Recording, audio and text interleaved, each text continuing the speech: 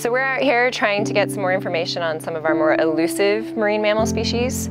So we have a couple of species out here that are very deep divers. They're called beaked whales, and so we rarely see them at the surface. One of the ways that we study these animals is using acoustics. So we actually listen to the sounds that they make while they're out foraging on these very deep dives.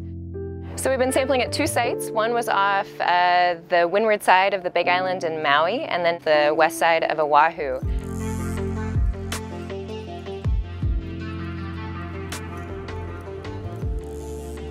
There are four species of beaked whales known to occur in Hawaiian waters, three that have been visually verified, the Blainville's beaked whales, Cuvier's beaked whales, and Longman's beaked whales.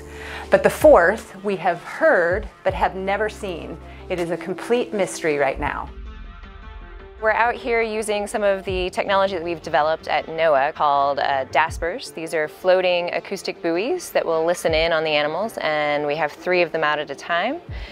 And if we can get the vocalizations in all three, we can sort of localize the animals. And at the same time that we have these out, we're doing 24 hours of water sampling using the CTD, in which time we're hoping to get eDNA or environmental DNA samples. eDNA just takes the cells that are in the water the whale naturally sheds as it moves through, and then we'll filter those out of the water and actually get DNA in that method. And by getting the eDNA in conjunction with the acoustics, we're hoping to be able to learn more about the group composition, sex, ratio, and other information about these animals.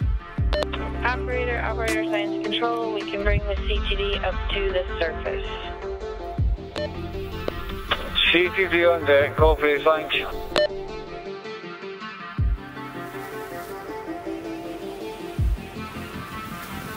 Being on the Falkor has been great. It's been very smooth. The staff has been great at uh, figuring out new ways of picking up equipment. So we brought on these instruments that they've never seen before and really figured out a great way of getting those into and out of the water for us.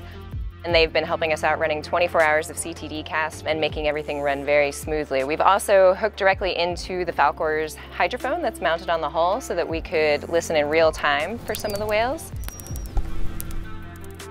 We can't conserve something that we don't know anything about, so the more that we learn about all of these species, the better we can understand where they are and why they're there and how our activities impact them and how we can reduce those impacts.